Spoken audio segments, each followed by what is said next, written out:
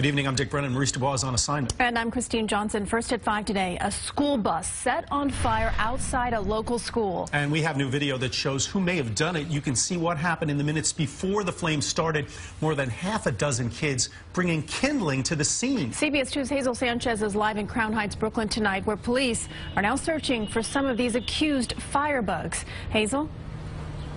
And you can see right behind me the charred bus is still sitting in front of the school where it went up in flames last night.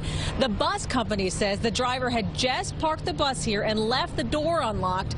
And that's when that 11 year old boy and his friends allegedly hopped on board and set it on fire. Huge flames and thick black smoke was pouring out of a school bus parked outside this Jewish all-girls school in Crown Heights Sunday night. Zainab Bai couldn't believe her eyes. The smoke was just black, jet black. I was like, how could a bus catch on fire? Because the bus was there, nobody was in the bus. And how did that happen? Police say a group of young boys set the fire, including an 11-year-old whom they already arrested. School surveillance video shows them running onto the bus with cardboard boxes. You can see someone starting a fire in the middle of the bus. Then later, more flames pop up next to the driver's seat. At least five boys are then seen running away as the bus quickly becomes engulfed in smoke and flames. I'm just glad that the kids were not on the bus at the time. Yeah, and that they're safe. Chaya Cohen says her eight-year-old son was on this bus earlier Sunday. He was dropped off in Flatbush before the bus driver parked it here on Brooklyn Avenue near Lefferts Boulevard. Monday, police were collecting evidence from what little is left of the charged shell.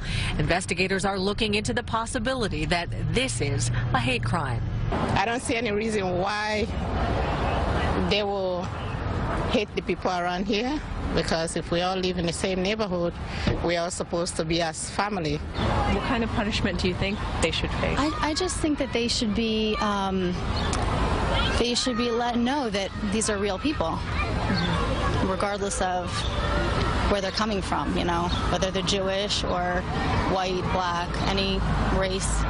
These are people who send their kids to school to learn. So police are still looking for the other four boys involved. The 11-year-old was charged with arson and criminal mischief. He was released to his mother's custody, but the question is, can he get locked up? Well, the answer isn't that simple. Authorities are going to have to look at his background. Has he been in trouble before? Does he have behavioral problems?